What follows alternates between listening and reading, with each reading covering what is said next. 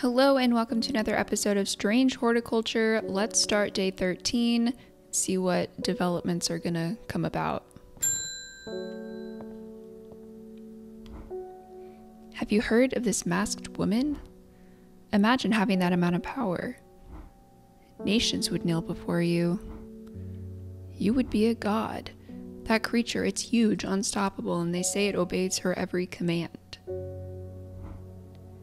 It would certainly come in helpful with my father in law tomorrow. I guess I'll have to settle for some daisy dock to help me get to, to help get me through it instead. A simple potion that will grant courage can be brewed from the leaves. It is said that ancient warriors would take it before going into battle. Looks about right to me.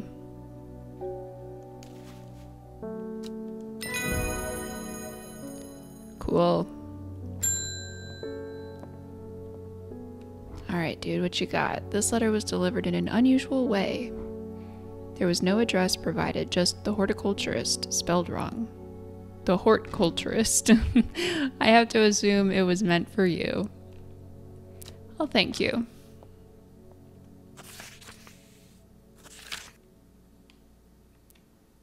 If you know your plants, this letter is for you. Okay. Let's see what we can do. Ah. So you got it working.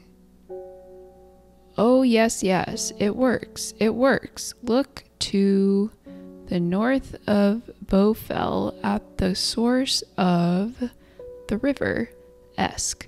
Nobody knows it grows there. It will be our little secret. Crazy man. Okay. So we need to go to Bowfell. Okay, there's Bowfell. And then north.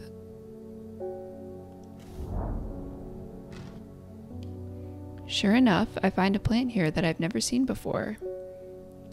This random dude just keeps coming through.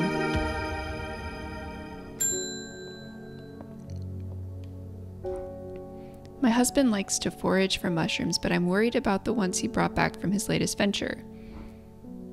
He's just been on a trip across the lake exploring the woods to the west of here. He's got a bag full of odd looking mushrooms that he says are perfectly safe, but they don't look edible to me. I'd have brought one with me to help identify, but he's hoarding them because he thinks I'm going to throw them out. I'll come back tomorrow. Let's see. Mr. Dunn Mushrooms, woods west of Undermere across the lake. Okay. The woods west of Undermere across the lake. So maybe here? Mushrooms. How have I never been here before? They're hard to find at first, but soon I'm seeing them everywhere. Oh wow, look at those guys. They say frogs with bright colors are poisonous, so that makes me think that mushrooms with bright colors might be too. Lord Fremont told me he's able to help find some information on the servant. I've been looking all over the library, but all I've discovered is a mold problem. I'm hoping you might have some sweet breath that can help me clear it up. Or we give them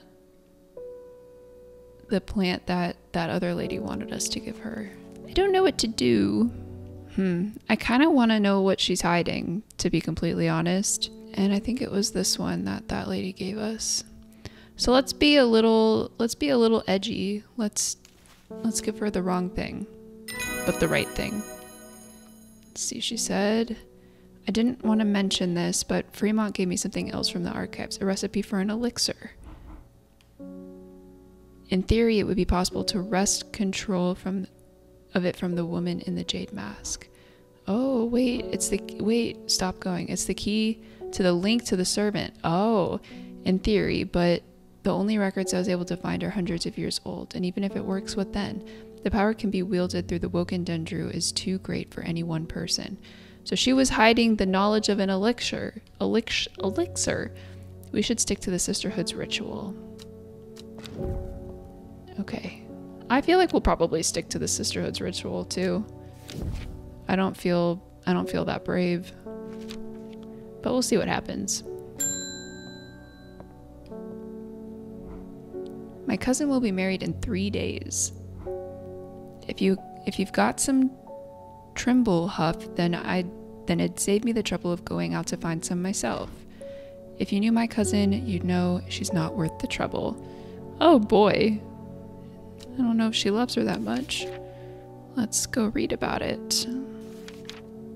We've got quite the collection going here. Here we go.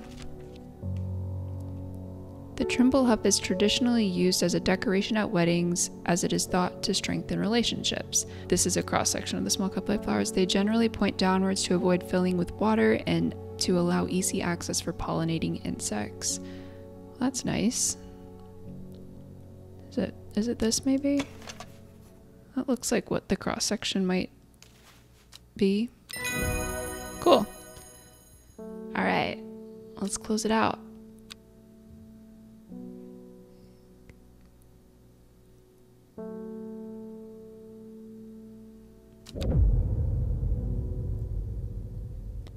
The shepherd watched as she prepared the leaves and roots that she would require.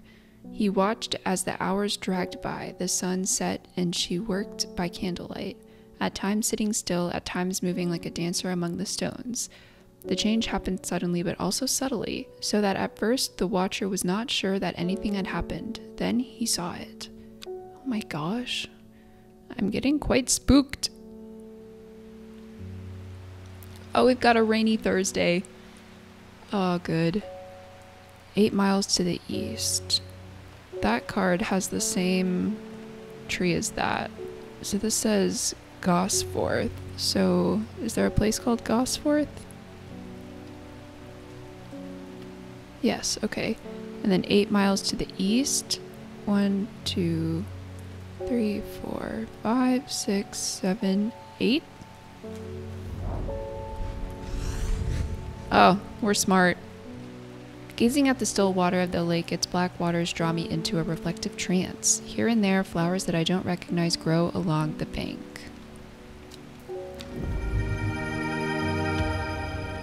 New plants. All right, so with day 13 complete, we're going to go ahead and close out the episode here. Thank you guys so much for watching. I really hope you enjoyed it, and until next time, bye.